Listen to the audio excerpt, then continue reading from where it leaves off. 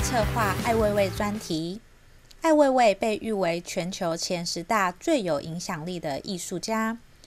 本次影展放映《花儿为什么这样红》与《老妈提花》两部纪录影片，特别邀请王丹、张铁志两位知名摄影人士，深入探讨艾未未的行为艺术以及当今中国对言论自由前置的情势。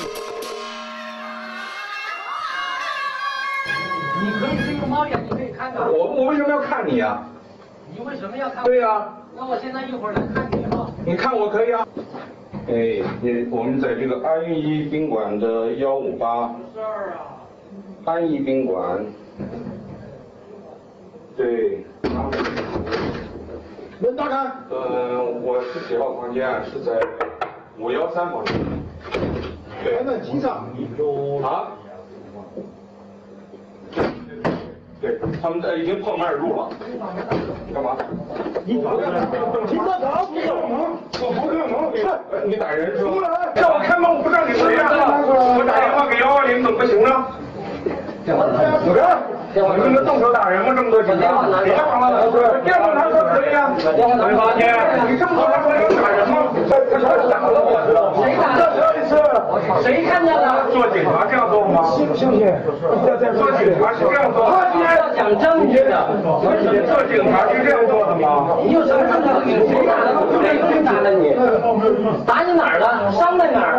有什么理由？什么叫我什么事儿？你们大晚上砸我门，我我什么什么叫砸门啊？警察例行检查，什么叫例行检查能打人吗？来谁打你了？谁打？谁打你？谁打你了过来问你，我听见你喊了，我过来了，对不对？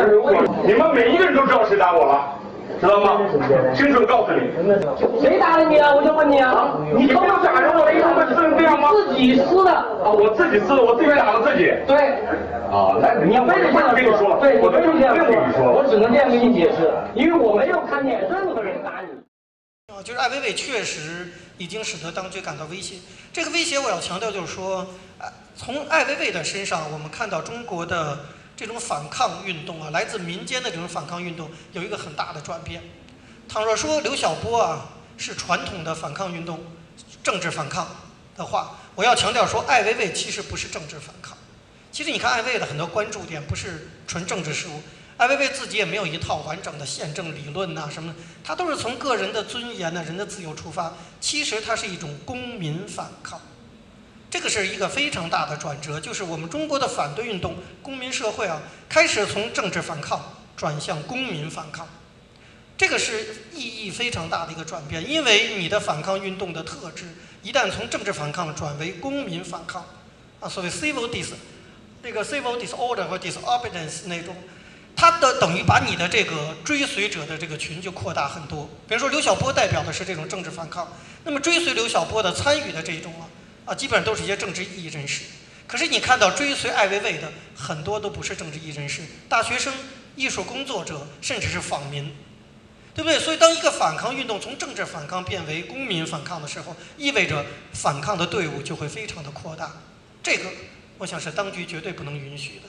当局恐怕也看到了这个危险性，我觉得这是当局要抓艾薇薇的主要一个原因啊。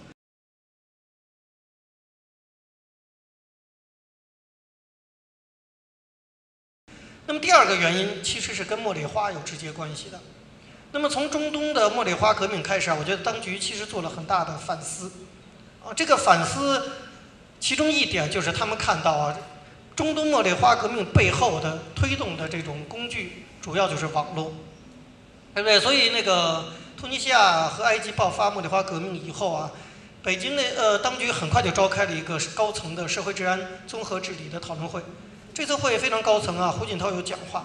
胡锦涛那次讲话的一个中心啊重点就是说要加强网络的管理。胡锦涛讲话之后，大概不到二十四小时，我的脸书上就出现了大规模集团性出现了大批五毛啊，就是上来，大家知道五毛是什么吧？就是领了政府的钱到网络上去发表一些就是捣乱呐、或者维护政府的一些言论。你可以看到，就是不光是我的网站，就是很多人的网站都出现这个情况，就是当局开始积极的在网络上加强这种控管工作，所以证明说当局已经认识到网络是产生茉莉花革命的主要的管道。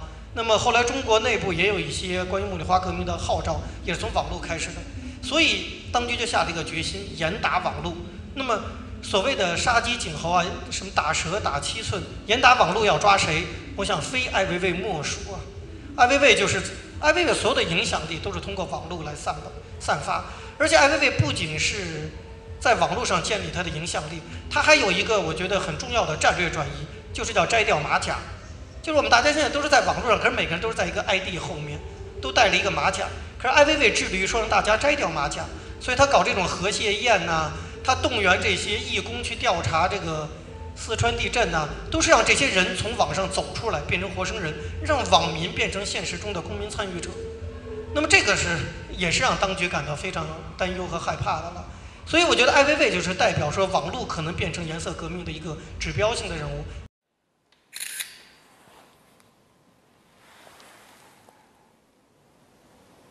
然后我现在立刻就能发。然后你就通过这个手机就可以发到推特。啊，是我现在就发，马上就上去了。你只要打开网，它就在上面了。这个事件的最主要的一个特征，可能大家没注意到，是我怎么用推特的问题。那么实际上呢，我是在多年来，呃，一直关注博客的这种呃可能性，就是呃呃呃，实际上互联网的这种可能性。这个是我最主要的工作，在这几年。警察没发现你在发短信？哎，警察没没收我的手机。